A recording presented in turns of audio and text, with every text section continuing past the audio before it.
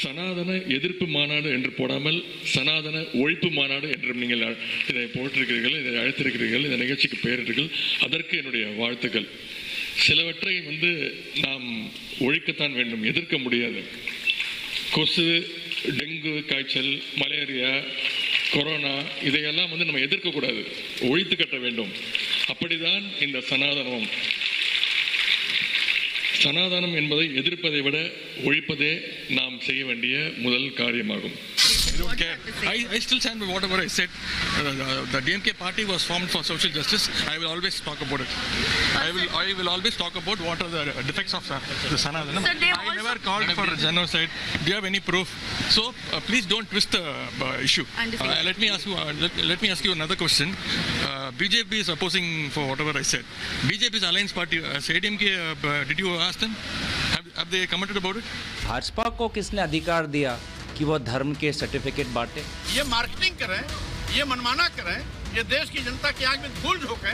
वो तो रोटी सनातन धर्म के नाम पे खा रही है आज की तारीख। प्रैक्टिसिंग हिंदू परंतु मेरी नज़रों में सभी के लिए मेरे मन में बराबर का सम्मान रावण के खानदान के लोग हैं। सनातन के खात्मे की बात करने वाले तमिलनाडु के सीएम स्टालिन के बेटे अब जाएँगे जेल। देश भर के शहरों में उदयनिधि के खिलाफ एफआईआर दर्ज हो गई है। सनातन को डेंगू मलेरिया कहने वाले उदयनिधि अब कानूनी शिकंजे में हैं। डीएमके नेता के इस बयान ने इंडिया गठबंधन की नींद उड़ा दी है। घमंडिया समूह की मीटिंग हुई है। नेता तय नहीं कर पाए। नीति उन्होंने तय किया सनातन को नीचा करना। ये जो घमंडिया संगठन का जमावड़ा है ये हिंदू चिंतन हिंदू सोच हिंदू धर्म का विरोध भी कर रहा है। स्टालिन के बेटे अपनी बात पर कायम है कि मैं हिंदू को मिटा के दम लूँगा भगवा को मिटा के दम लूँगा। तो इसका जवाब राहुल गांधी नीतीश कुमार और लालू यादव को देना पड़ेगा। लेकिन गठबंधन के नेताओं ने मौन साध लिया है। वोटर अब इंडिया गठबंधन को करारा जवाब दे रहे हैं। की मानसिकता विकृत है ये ना क्रिश्चियनिटी को मानेंगे ना ये इस्लाम धर्म को मानेंगे ना ये मुस्लिम हिंदू धर्म का मानने वाले। तो इनका कोई धर्म नहीं है इनका सिर्फ़ सत्ता की सत्ता की राजनीति करना और कुछ नहीं। ये दो चार चिंटू आकर के हमारा सभ्यता हमारा संस्कृति को कभी खत्म नहीं कर सकता। खत्म खुद हो जाएँगे सनातन को गाली दे रहे सनातन कोई आज का नया धर्म नहीं है बहुत पुराना धर्म है। ये कौन से बहुत बड़े राजनेता हैं ये भी मिट जाएँगे। डीएमके को लगता है इस बयान से तमिलनाडु में वोटों का कुछ लाभ मिल सकता है। लेकिन इससे पूरे देश में इंडिया गठबंधन की मुश्किलें बढ़ गई हैं। इस स्टालिन पर दिल्ली से लेकर देश के कई इलाकों में केस दर्ज हो चुका है। मुजफ्फरपुर की अदालत में उदय निधि जो तमिलनाडु के मंत्री हैं एम के स्टालिन जो कि वहाँ के मुख्यमंत्री हैं दोनों के विरुद्ध आईपीसी की धारा 500, 504, दो सौ पंचानवे दो सौ पंचानवे क दो सौ अंठानवे एक सौ बीस बी के तहत एक आपराधिक मुकदमा दर्ज कराया गया है और माननीय न्यायालय ने गंभीरता से लेते हुए स्वीकार करके सुनवाई के लिए 14 सितंबर की तिथि मुकर्र की है। क्यों कह रहा हूँ कि उदयनिधि जेल जाएँगे क्योंकि देश के कई शहरों में इनके खिलाफ मुकदमा हो गया है। एफआईआर दर्ज हो गई है। अलग अलग ये आप देख रहे हैं उदयनिधि स्टालिन को।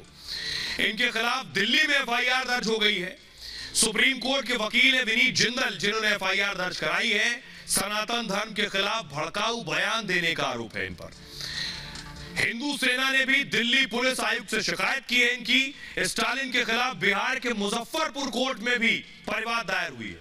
सीएम स्टालिन के साथ उनके बेटे के खिलाफ भी कार्रवाई की मांग है। 14 सितंबर को कोर्ट में इस मामले की सुनवाई होगी। दिल्ली और मुजफ्फरपुर में धारा एक सौ तिरपन ए, एक सौ बीस बी, दो सौ पचानवे, पाँच सौ चार के तहत केस दर्ज हुआ है। एक सौ तिरपन ए का मतलब सांप्रदायिक सद्भाव बिगाड़ना, तीन साल तक की जेल और जुर्माना है।